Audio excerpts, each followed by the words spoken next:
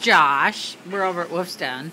And the Callie's puppies have had their first grooming. And Josh seems to like Stinson a lot. Don't you? He's a handsome dude. I'll say that about him. Very handsome. Full of himself, too. Alright, and Sharon's working on Googans. A little finishing work on him. He's already been bathed and toenails clipped. Oh, hi, how are you, baby? This is going on my website, so. Oh. Yeah, you look pretty cute. Don't you, Googie? Hey. So were there were they good puppies during their bath for you? Yeah. And their toenail John did the clipping? Uh, yeah, some of them I didn't even do the toenails. They were so short. I think I may have done them a few days ago. Yeah, some of them were so short they were making Yeah. bleed. So Right.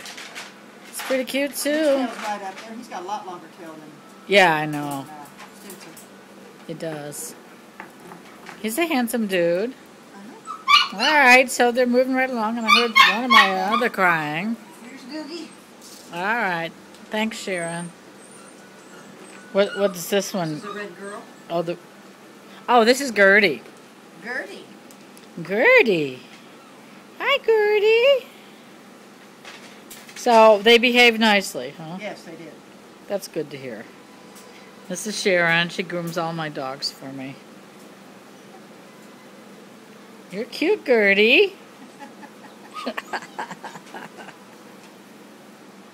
I didn't realize you would have bathed him before you left for lunch. Huh?